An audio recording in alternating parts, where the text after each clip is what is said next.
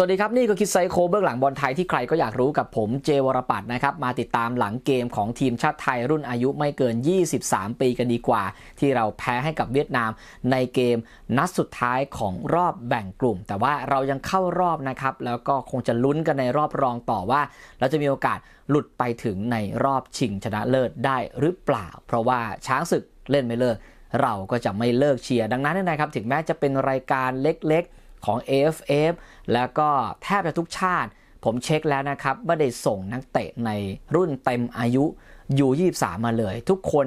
กักไว้หมดเพื่อรอ 4 เกม แล้วก็ชุดนี้ส่วนใหญ่ก็จะเป็น U21 แล้วก็มีบางคนที่เล่นเต็มอายุ ส่วนใหญ่ก็จะใช้แพทเทิร์นแบบนี้กันในทุกๆ ชาตินะครับ ดังนั้นผลการแข่งขันที่ออกมาเนี่ยมันอาจจะยังวัดอะไรไม่ได้มาก ว่าในรุ่นอายุไม่เกิน 23 ปีของแต่ละชาติเนี่ยที่มันออกมาเนี่ยนะครับ พัฒนาการหรือว่าฟอร์มการเล่นที่แท้จริงมันคืออะไร เพราะว่ามันมีสถานการณ์โควิด เข้ามาทำให้บางทีมเนี่ยลดทอนกำลัง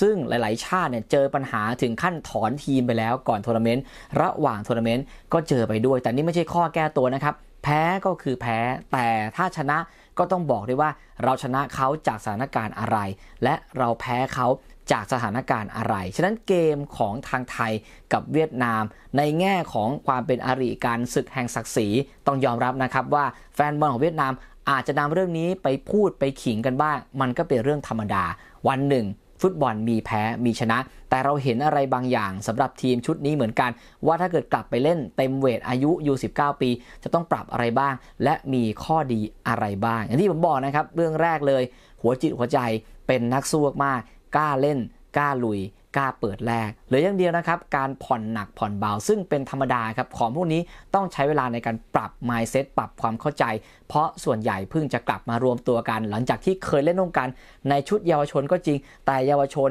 กับฟุตบอลในระดับนี้ที่มันกำลังจะก้าวข้ามจากคำว่าเยาวชน ไปสู่ฟุตบอลอาชีพ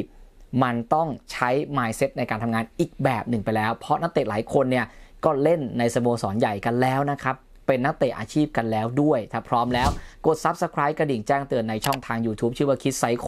แล้วก็ Facebook กดไลค์กดแชร์เมื่อเห็นคอนเทนต์ของเรา เกมเมื่อวานที่ผ่านมาทีมไทยออกสตาร์ทด้วย 11 ตัวจริงชุดเดิมจากในเกมแรกทั้งหมดเลย ที่ชนะสิงคโปร์ไป 3-1 ซัลบาดอร์บาเลโร่ การ์เซียกุนซือใหญ่ก็ไม่มีเหตุผลอะไรที่ต้องเปลี่ยน เพราะว่าทีมชุดนี้เพิ่งจะชนะมาในเกมแรกนั่นคือ 1 ประเด็น และ 2 คือได้พักมากกว่าคู่แข่งคือเวียดนามถึง 3 วันด้วยกัน ส่วนฝั่งเวียดนาม ที่รายการนี้พวกเขาก็เน้นเอารุ่นอายุไม่เกิน 21 ปีมา เป็นแกนหลัก และก็มีตัวเก่าที่เป็นรุ่นเต็มอายุอยู่ 23 มารวมด้วย 2 ราย แต่ก่อนเกมเนี่ยพบว่านักเตะ ติดโควิดรวมกันเป็นหลัก 10 รายเลยนะครับ ต้องไปนำผู้เล่นใหม่อีก 6 ราย เดินทางฉุกเฉินจากเวียดนามตามมาสมทบทำให้ 11 ตัวจริงของทัพดาวทอง ในเกมที่ถล่มสิงคโปร์ไป 7-0 เหลือนักเตะเพียงแค่ 4 รายเท่านั้น แล้วก็เริ่มเกมมาในช่วงครึ่งชั่วโมงแรกเนี่ยผมดูอยู่นะครับ สภาพโดยรวมของเวียดนามไม่ได้ยวบลงจนเกินไป จากเกมแรกเลยครับ แม้ว่าจะเป็นตัวสำรองเยอะ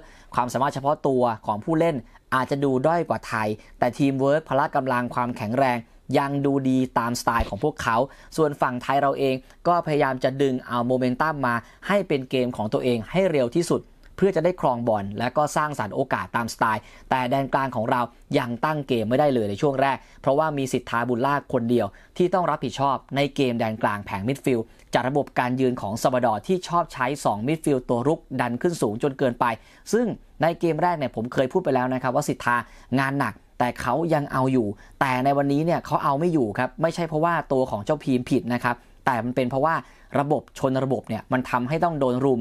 2-3 ตัวอยู่ตลอดเวลา หลังจากเวียดนามขึ้นนำได้ก่อน 1-0 จากลูกฟรีคิก ตรงนี้ต้องยอมรับนะครับว่าเรามีการ organize ในการจัดกำแพง แล้วก็การป้องกันเกมรับ อาจจะหลาหลวมไปนิดนึง เพราะเราคิดว่าเสาแรกเนี่ยยังไงก็ไปทัน และสุดท้ายเนี่ยคงไม่คิดว่าเขาจะยิงยัดเสาแรกได้แม่นขนาดนี้ กลายเป็นว่าเขายิงข้ามกำแพงแล้ว มันมีมุมเดียวครับคือมุมที่ข้ามกำแพงแล้วโค้งเข้าเสาแรก และเขายิงดีจริง ๆ อันนี้ก็ต้องให้เขาด้วยกับเครดิตในการยิงประตู สุดท้ายเมื่อเราเสียประตูแน่นอนครับ ความคู่คี่สูสีมันมีอยู่แล้ว เกมมันเข้าทางของอีกฝั่งแน่นอน ก็ต้องลงไปแพ็กเกมรับแหละครับ คนที่นำและก็ยังเป็นการเซฟแรง จากสภาพร่างกายที่นักเตะเป็นรองไทยด้วย ส่วนในช่วงครึ่งหลังเนี่ยนะครับไทยเราก็ครองบอลในแดนกลางได้ชัดเจนขึ้น หลังจากที่เวียดนามถอยลงไปรับลึก แล้วก็ปล่อยให้เราได้เล่น แต่เมื่อไหร่ที่บอลของไทยเข้าไปถึงแดนสุดท้ายเนี่ยนะครับบริเวณหน้ากรอบเขตโทษ นักเตะเวียดนามก็จะเข้ารูมเพรสซิ่งในแดนทันที ต้องยอมรับว่า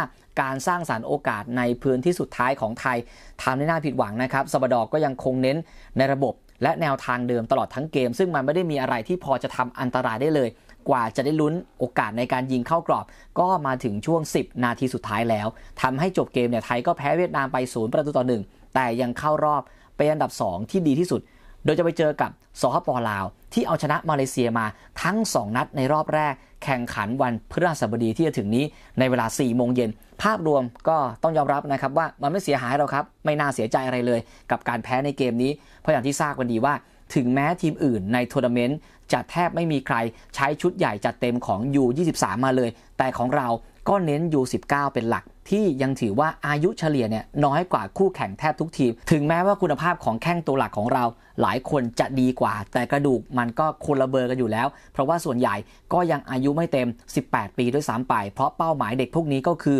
U19 ชิงแชมป์เอเชียรอบคัดเลือก ที่เมื่อถึงวันนั้นเนี่ย วกเขาจะโตเต็มวัยและได้เล่นตามเวทอายุที่แท้จริง แฟนบอลอย่างพวกเราจึงไม่ได้ไปตั้งเป้า หรือว่าไปกดดันว่าต้องเป็นแชมป์รายการนี้ ชนะคือโบนัส แพ้คือกำไรด้วยซ้ำเพราะว่าซีเกม แต่ละชาติก็จัดเต็ม ซัดกันเดือดแน่ ส่วนน้องๆ ก็กลับไปอยู่ในเส้นทางของตัวเอง แล้วไต่เต้าขึ้นตามขั้นบันได แค่วันนี้คุณได้ขึ้นลิฟต์ชั่วคราวเท่านั้นเองดังนั้นไม่เสียหายเลยครับแต่แอบเสียใจนิดนึงที่วันนี้ไม่สามารถ กดคู่แข่งที่สภาพร่อแร่แบบนี้ได้ ทั้งที่เราแทบจะเป็นหนึ่งในไม่กี่ทีม ที่ยังไม่มีปัญหาโควิด มารบกวนเลยในรายการนี้ แต่เกมรุกที่เราเคยชื่นชมไปในเกมแรกมันหายไปหมดเลยครับ การทำชิ่ง การจ่ายตัดหลังให้ปีกสุดเส้น แล้วก็ cut back กลับมาแทบไม่เห็น แล้วทางชุดนี้เล่นบอลสวยงามต้องชื่นชม แต่ฟุตบอลมันก็ยังตัดสินกันที่การยิงประตูอยู่ดี ฉะนั้น pattern การฝึกซ้อมที่ดีของซัลบามีข้อดีคือหลากหลาย รูปแบบการบิวอัพ มันชัดเจนว่าต้นตำรับสเปน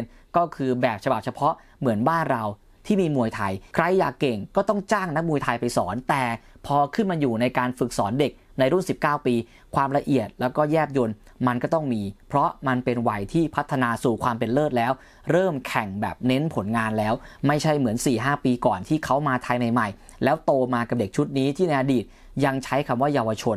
ซึ่งหลักสำคัญของช่วงอายุในตอนนั้นก็คือการพัฒนาให้เล่นฟุตบอลอย่างถูกวิธี แต่น่าเสียดายนะครับ ถ้ามีโอกาสได้ซ้อมเด็กชุดนี้แบบต่อเนื่องมาตลอดนะ เรียกมารวมตัวกันบ้าง ไม่ใช่ใช้เวลาแค่ก่อนจะเข้าทัวร์นาเมนต์มารวมตัวกัน อาจจะได้เห็นความเข้าใจและดุดันมากขึ้น เพราะว่าตั้งแต่เกิดโควิด ศูนย์ฝึกที่มกรุงเทพธนบุรี ที่สมาคมกีฬาฟุตบอลไปทำ MOU เป็นพันธมิตรกับทางมหาวิทยาลัย แทบจะไม่ได้มีโอกาสเก็บตัวฝึกซ้อมกับเด็กเลยนะครับ ส่วนใหญ่ก็อยู่แค่กับต้นสังกัดกับโรงเรียน หรือว่าทีมอาชีพกันหมดแล้ว เอาเป็นว่าทั้งโค้ชและก็นักเตะ ต้องเรียนรู้ไปพร้อมๆกัน เพราะว่าในเวทีโค้ชอาชีพ ผมเชื่อว่าซาบ้าก็ยังคงต้องสั่งสมประสบการณ์ กับการแก้ไขสถานการณ์หน้างาน มันต้องใช้เวลาครับ แฟนบอลก็อย่าเพิ่งไปเร่งใส่ปุ๋ยกันในโซเชียลมีเดียเลยครับ เชียร์ให้มีความสุขก่อนดีกว่า ส่วนเรื่องที่เราเห็นกันว่า เวียดนามนอนเจ็บเยอะ เหมือนจะเป็นการถ่วงเวลาที่มากไป เราก็คงได้แต่บ่นแหละครับผมเองก็ยังบ่นเหมือนกันว่ามันจะนอนอะไรกันนักกันหนา แต่สุดท้าย นี่แหละครับคือฟุตบอล ถ้าเราทำเขาได้ และอยู่ในสถานการณ์ที่เหนือกว่าเขา เขาก็ถ่วงเวลาเราไม่ได้อยู่แล้ว ต้องคิดกลับหัวแบบนี้นะครับ และมองไปในแง่ดีว่าเดี๋ยวค่อยไปเอาคืนกันใหม่ ถ้าเราไปถึงรอบชิง ส่วนหลังเกมในมุมของซาบดอร์บาเรโรกาเซีย เขาก็ภูมิใจที่นักเตะ พยายามสู้เต็มที่ พยายามที่จะเอาชนะเวียดนามให้ได้ แม้สุดท้ายจะไม่ได้ผลตามต้องการก็ตาม เป็นการเรียนรู้ที่ดีสำหรับนักเตะในการเจอกับทีมอย่างเวียดนาม U21 ที่อายุมากกว่าเล็กน้อย แต่สามารถควบคุมสถานการณ์ได้ และสร้างโอกาสได้หลายครั้ง โดยเฉพาะในครึ่งหลังที่ทำได้ดีกว่าในครึ่งแรก ครองบอลได้มากกว่า ถือเป็นบทเรียนที่ดีในการเตรียมตัวสำหรับรอบต่อไปที่คาดว่าจะเจอกับสถานการณ์แบบนี้อีก หากมีโอกาสเจอกับเวียดนาม ในนัดชิงชนะเลิศ ก็หวังว่าจะเล่นในแบบครึ่งหลังอีกครั้งตลอดทั้ง 90 นาที สิ่งสำคัญก็คือทำประตูไม่ได้จากโอกาสที่สร้างขึ้นมา ไม่กังวลเท่าไหร่ เพราะนี่คือส่วนหนึ่งของการเรียนรู้ แต่ก็ภูมิใจ ที่นักเตะสู้จนจบเกมไม่ยอมแพ้ไม่ถ่วงเวลาพยายามเอาชนะ เพราะความจริงแล้วเกมนี้ไทยเสมอก็ได้ หรือแพ้ก็ได้ แต่ก็พยายามจะเอาชนะทำทุกอย่างกล้าที่จะเปิดหน้าแรก พยายามเปิดเกมบุก สร้างโอกาสได้มากมาย แต่ยิงไม่ได้ การต้องเตะต่อเนื่องหลังจากนี้มันสำคัญมาก ที่จะต้องทำงานร่วมกับหมอ นักกายภาพ และโค้ชฟิตเนสที่จะต้องฟื้นฟูร่างกาย ให้นักเตะกลับมาสมบูรณ์ให้เร็วที่สุด ตั้งแต่ตอนนี้โฟกัสไปที่เกมรอบรองชนะเลิศ ที่จะต้องเอาชนะให้ได้ และเข้ารอบชิงชนะเลิศต่อไป คิดว่าแฟนบอลก็น่าจะภูมิใจกับทีมไทยที่สู้ตลอด 90 นาที โดยปราศจากความกลัว สร้างโอกาสมากมาย ขอโทษที่ยิงประตูเวียดนามไม่ได้ และไม่มีแต้มจากเวียดนาม ก็รู้ดีถึงความเป็นอริกันของสองชาติ แต่ตอนนี้ต้องมองบวก และหวังว่าจะเข้ารอบชิงชนะเลิศ และเจอกับเวียดนามอีกครั้ง และเอาชนะเวียดนามให้ได้ แต่ว่าสิ่งสำคัญเลยนะครับ การพักเพียงแค่ 1 วัน มันคงไม่ได้ทำอะไรได้มากเกี่ยวกับเรื่องของการปรับแท็กติก การแก้ไขสถานการณ์ เพราะว่าการพักเพียงแค่นี้มันคือการ recovery เป็นหลักเลยนะครับ และเน้นแก้ไขจุดบกพร่องจากเกมที่ผ่านมากับเวียดนาม และผมเชื่อว่าสหปลาวก็จะเป็นอีกหนึ่งคำตอบเหมือนกันนะครับว่าไทยในชุดนี้สำหรับ U19 ปี จะต้องไปปรับอะไรบ้าง ก่อนที่จะกลับไปสู่เวทีของตัวเองอีกครั้งหนึ่ง และอีกหนึ่งเรื่องคือ ถือว่าเอาเด็กชุดนี้สเกลทุกชาติ ที่ลงเล่นในรายการนี้ไปเลยครับ อย่างน้อยก็ยังเห็นผู้เล่นบางคนแหละ ที่อาจจะไปโผล่ในซีเกมได้เหมือนกันและทั้งหมดนี้คือคิดไซโค้งเบื้องหลังบอลถ่ายที่ใครก็อยากรู้นะครับ ที่พูดและก็คอมเมนต์กันไป ก็อยากให้เห็นมุมมองที่มันหลากหลาย เราเชียร์ได้เชียร์ให้สนุกเชียร์ให้มัน แต่เราต้องรู้นะครับว่าสุดท้ายแล้วเนี่ยณวันนี้เราอยู่จุดไหน เราต้องทำฟุตบอลให้ละเอียดมากกว่านี้ และเราต้องทำฟุตบอลโดย สร้างแบบต่อเนื่องจริงๆสักทีไม่ใช่สร้างเพียงแค่พูดว่าจะสร้างแล้วสุดท้ายเราก็มาทำกันหน้างานเหมือนเดิม เดี๋ยวผมจะเล่าให้ฟังนะครับในโอกาสต่อไปว่า หลังจากจบทัวร์นาเมนต์นี้ก็ได้ ผมจะบอกว่าจริงเรามีเงินทำฟุตบอลเยาวชนเยอะมากๆเลยนะครับ แต่เงินที่มันมีอยู่เนี่ยเราจัดสรรออกมาได้ลงตัวแค่ไหนกับผลงานเยาวชนที่มันออกมาในระดับแบบนี้ และการต่อยอดในอนาคต มันควรจะต้องพูดถึงเรื่อง อะไรบ้างจากตัวเลขที่มีอยู่ ซึ่งมีมูลค่าเป็นหลักพันล้าน ถ้าอยากฟังนะครับ เดี๋ยวรอจบทัวร์นาเมนต์นี้จะเล่าให้ฟังอีกทีหนึ่งนะครับ เป็นเรื่องที่น่าสนใจมาก ๆ จริง ๆ และทั้งหมดนี้คือคิดไซโคเบื้องหลังบอลถ่ายที่ใครก็อยากรู้ 2 ช่องทางนะครับ ร่วมเป็น 2 0 0 0 0 0 Subscribe ในช่วงเดือนกุมภาพันธ์นี้ เหลืออีกไม่มากแล้วจะจบสิ้นเดือน ผมว่ายอดซับมันยังไม่ค่อยขยับไปไหน แต่ผมเข้าใจว่าทุกคนนั้นก็ติดตามฟุตบอลดูต่อเนื่องผ่านในช่องทางของผมขอบคุณทุกยอดวิวมาก แต่ลืมไปตามหลาย ๆ คนมากด Subscribe ช่องบอลไทยช่องนี้มีอะไรมากกว่าที่คุณคิดนะครับ และที่สำคัญ Facebook ก็กดไลค์กดแชร์ ในทุกคอนเทนต์ที่ผมนั้นลงไปขอบคุณมาก ๆ นะครับ เจอกันใหม่ในคลิปต่อไปสวัสดีครับ